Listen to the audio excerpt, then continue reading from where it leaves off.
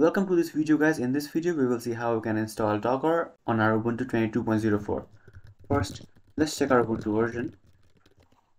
So as you can see we are on 22.04. Now let's update our repositories first.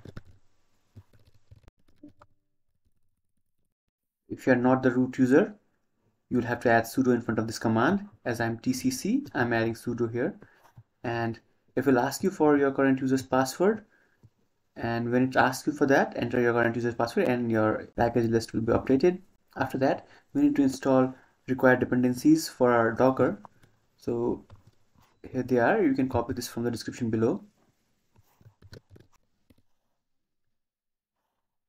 When you're asked do you want to continue type y and then hit enter.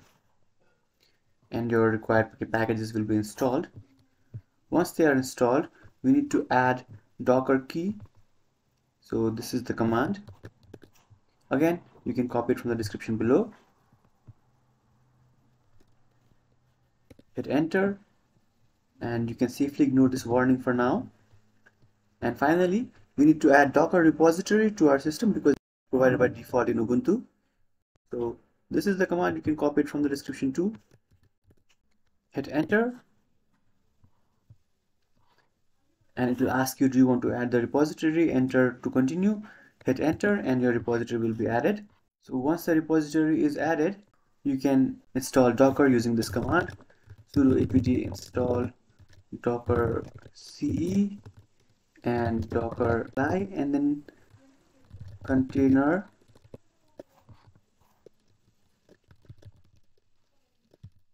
dot io hit enter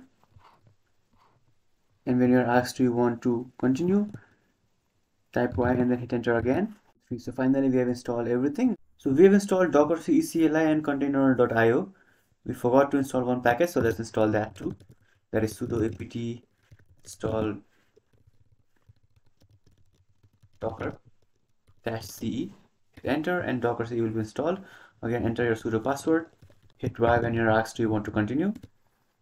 And now docker is successfully installed now you can check docker status using this command that is service docker status.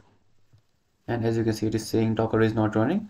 So you can start by this command service docker start. This is the command service docker start. Hit enter.